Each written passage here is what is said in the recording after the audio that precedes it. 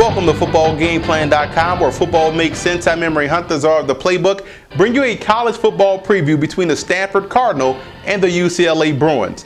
And let's look at Stanford in this ball game and let's look at their offense. Kevin Hogan, the quarterback, I think his mobility and his legs will help these guys versus that pressure of UCLA. Why? We know UCLA loves to come after the quarterback, and if you could break contain, you can extend the plays in the passing game and also pick up those cheap four and five yards running the football. And also on offense, you want to stay ahead of the chains. You want to keep your own offense out of those second long third and long situations. That's not Stanford's game. If they can do that, they can have a great chance to knock off UCLA. And defensively, they can't lose contain versus Hundley and Franklin. Both guys can do damage on the perimeter, and both guys have excellent vision to find the cutback lanes and make big plays.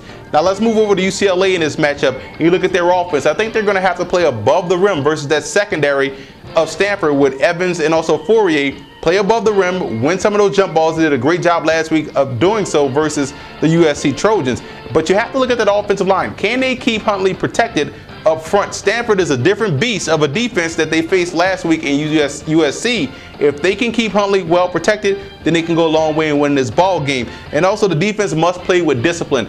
Stanford runs a pro style of offense. They run downhill, they operate off play action, they take timely shots downfield, they work the tight ends in the passing game. Defensive discipline, keep your head in the game, and I think they can have a shot. Big game right here in the Pac 12 conference. I like UCLA. I like what I saw last week, and I think they're going to be explosive again. The way they play offense puts a lot of pressure on opposing defenses. They widen you out and take advantage of the individual matchups. So I'll look for the Bruins to knock off the Stanford Cardinal.